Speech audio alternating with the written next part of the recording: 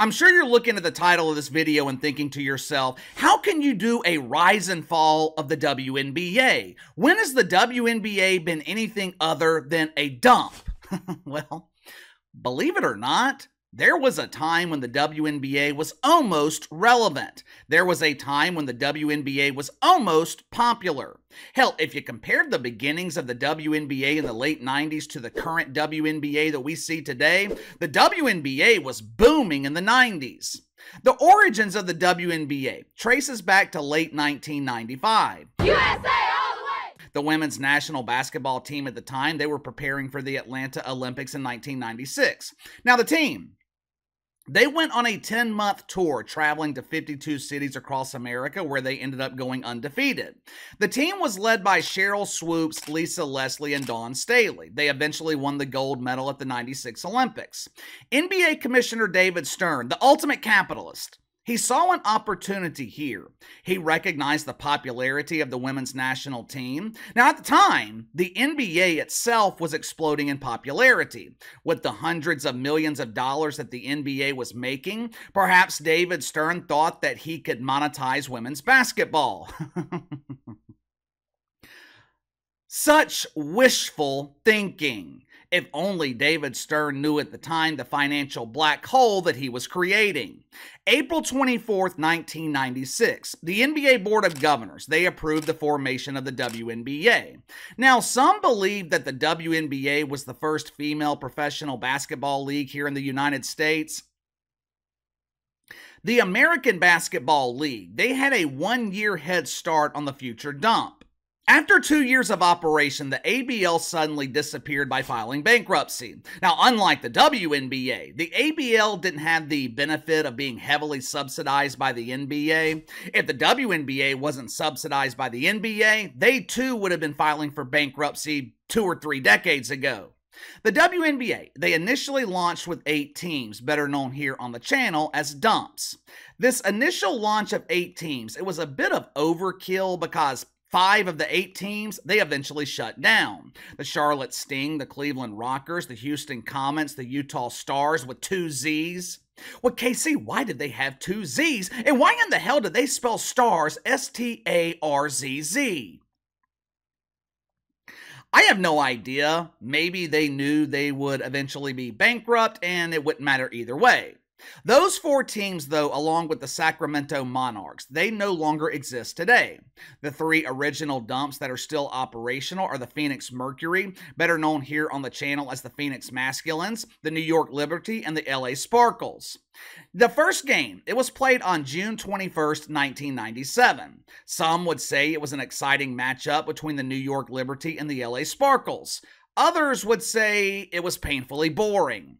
The game was played at the LA Forum in Los Angeles and broadcast nationally on NBC. In an arena that holds over 17,000 people, the WNBA, they packed the LA Forum with 12,000 fans excited to watch women's basketball. Now, in most leagues, filling an arena to 69% capacity, that would be considered a huge embarrassing failure. But considering the fact that the current WNBA averages just over 6,000 fans a game, 12,000 for their first game, that was considered a monumental success. During their inaugural season, the WNBA, they averaged almost 2 million viewers a game for games broadcast on NBC. Are you starting to understand now how I could include the WNBA in our Rise and Fall series? Even though an average of just under 2 million on network television was considered god awful in the late 90s, hell, 2 million, that would be considered god awful in 2024 on broadcast television. But even though that number doesn't cut it for network television, it is significantly better than what the WNBA is averaging today. Attendance. Attendance was also decent during the inaugural season, with the WNBA averaging almost 10,000 fans a game. By their second season in 1998, two new dumps were added to the league the Detroit Shock, and the Washington Mystics. In keeping with WNBA tradition, the Detroit Shock, they would cease to exist a decade later, relocating to Tulsa, which eventually relocated to Dallas. As we're about to find out, this seems to be a common theme in the WNBA. Teams moving around the country hoping attendance will pick up in other cities, and it never happens. Now, if you follow the modern WNBA,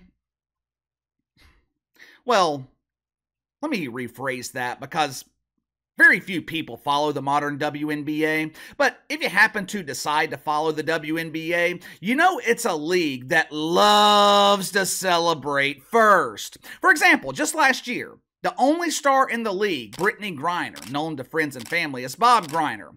Just last year, Bob Griner was hoping the WNBA would allow men choosing to identify as women to compete in the League of Pretend Basketball. Basically, Bob Griner was advocating for the first bearded beauty to compete in the WNBA.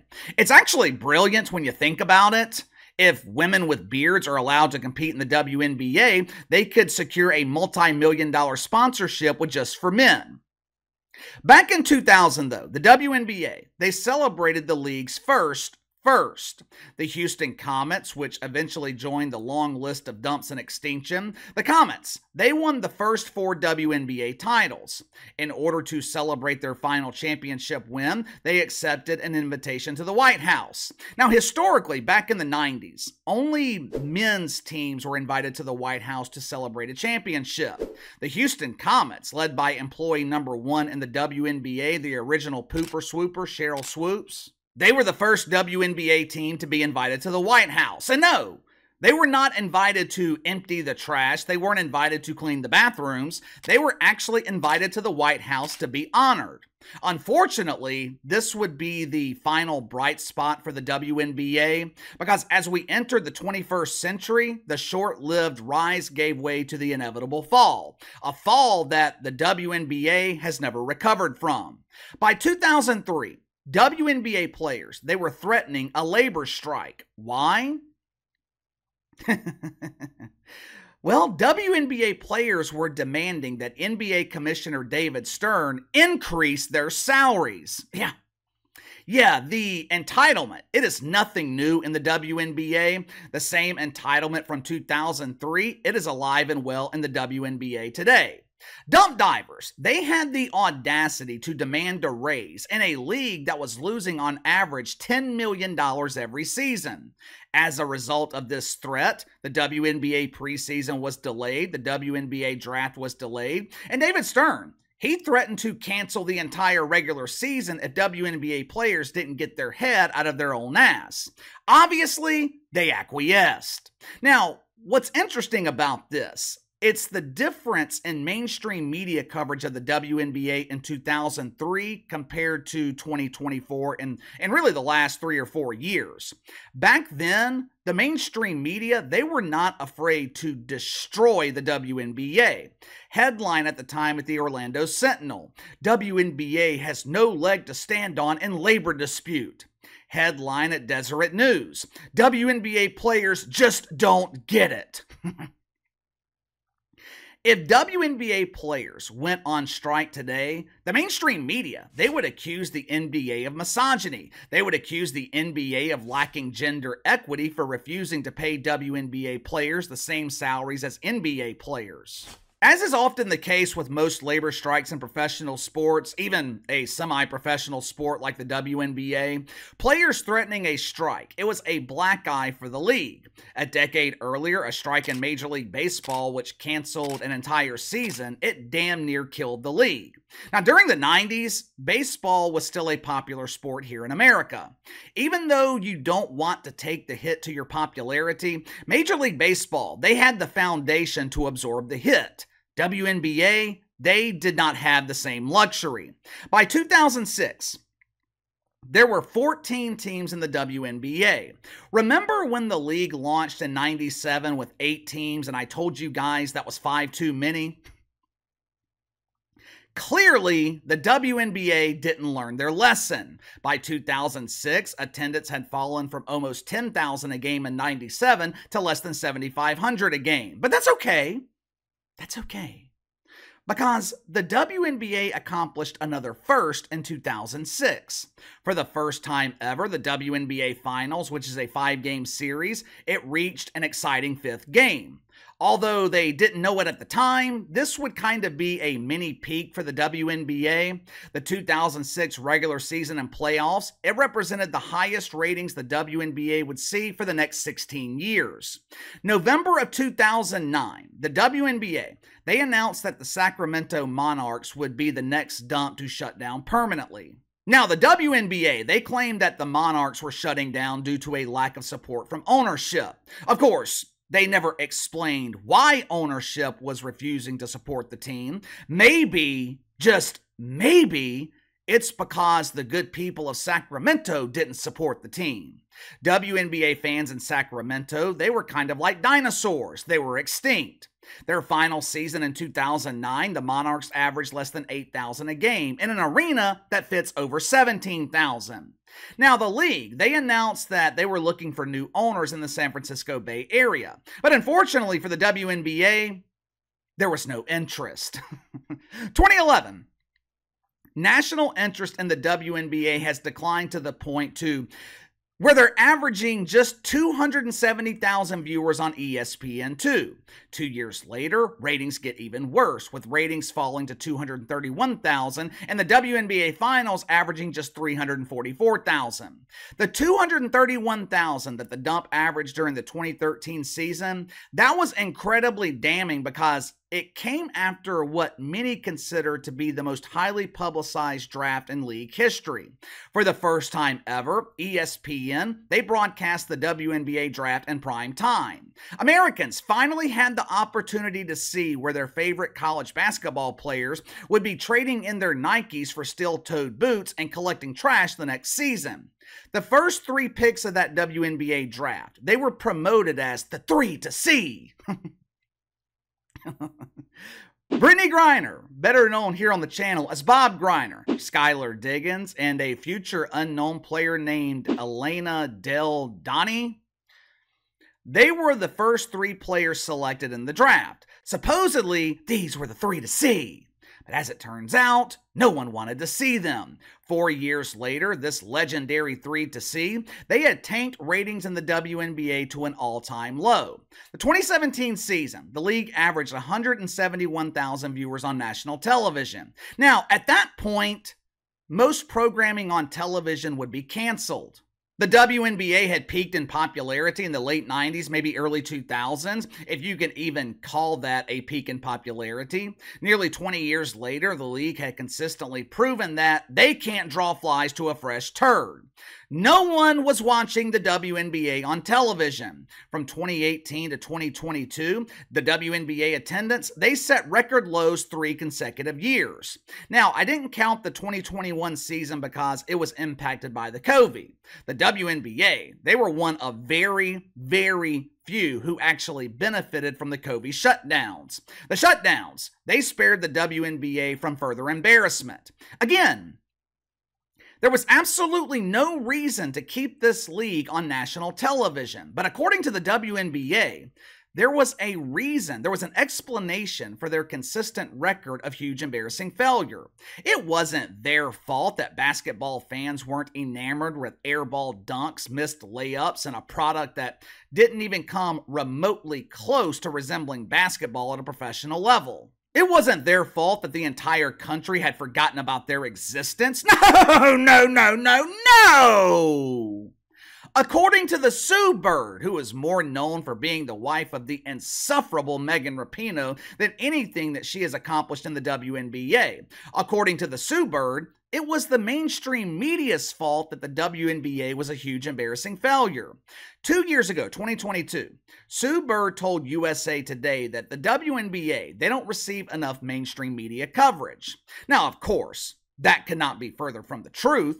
Since around the summer of 2020, the WNBA has seen a massive increase in mainstream media coverage. The problem is, this increase in media coverage it further turned the average American against the WNBA.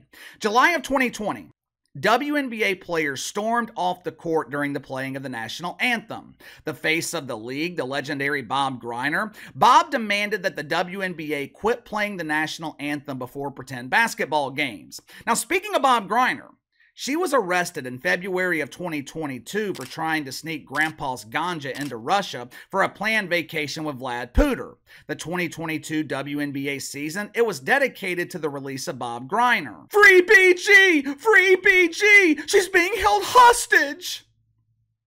To make matters worse, when Brittney Griner was released in December of 2022, our fearless leader, John Biden, he got absolutely swindled in negotiations for the release of Brittney Griner.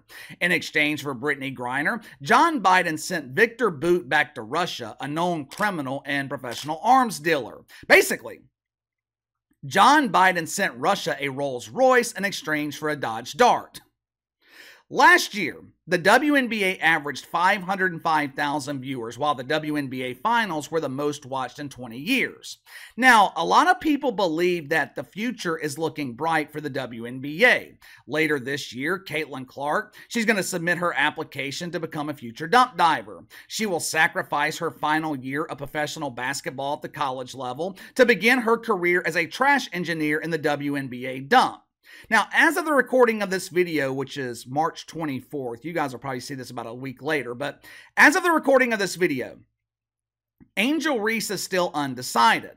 Because of NCAA rules, Angel Reese will be forced to enter the WNBA if she wishes to continue playing basketball by 2025. Now, it is understandable why the mainstream media believes that the future for the WNBA is bright. Both Caitlin Clark and Angel Reese, they are bona fide superstars at the college level. But we have seen this movie before. The WNBA has been teased in the past with the potential for a bright future. As explained earlier in the video, the WNBA, they were averaging just under 2 million viewers for regular season games in the late 90s. There was star power throughout the league, but eventually things went back to normal. Hopefully, and I mean this, hopefully, Caitlin Clark and Angel Reese will be able to save the WNBA. If you are a daily viewer of this channel, you guys know how much I love the sport of basketball. I mean, just just look at the shelf behind me. All that Pelicans gear, it's not just for decoration. I love the NBA, and believe it or not, I would be willing to watch the WNBA if they presented a watchable product. Misogyny is not the reason the WNBA has been a consistent failure. This league has been criticized for decades. It wasn't until the mainstream media decided to go woke that it became misogynist to criticize the WNBA. There is potential for the future of the WNBA to be bright. Problem is, that potential is 100% reliant on the success of one player, Caitlin Clark.